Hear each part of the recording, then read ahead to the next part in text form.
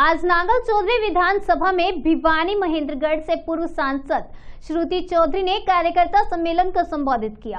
पूर्व सांसद ने कहा कि नांगल चौधरी क्षेत्र पूर्व मुख्यमंत्री बंसीलाल का सबसे चहेता क्षेत्र रहा है। इस क्षेत्र के लोगों के साथ उनका पारिवारिक संबंध रहा है।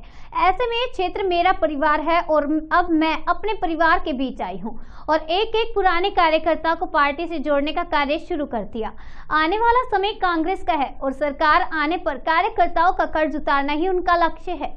वहीं वरिष्ठ कांग्रेसी नेता अभिमन्यु राव ने कहा कि आज इस क्षेत्र के गांव-गांव ढानी ढानी में जो पीने का पानी पहुँच रहा है वो सांसद श्रुति की ही देन है जिसके कारण महिलाओं में श्रुति के प्रति काफ़ी जुड़ाव है। जो आने वाले चुनावों में आपको दिखेगा भी।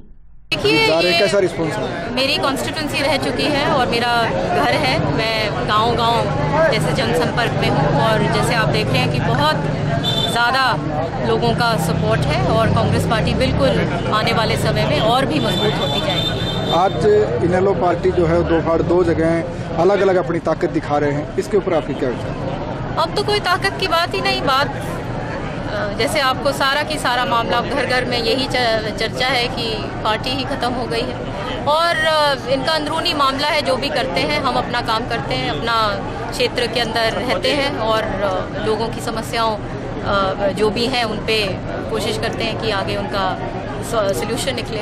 आपकी नज़र में पारिवारिक कलह माना जाए या कुर्सी की लड़ाई? बात तो कुर्सी की ही है और क्या है? भाई कुर्सी की है। सीधी।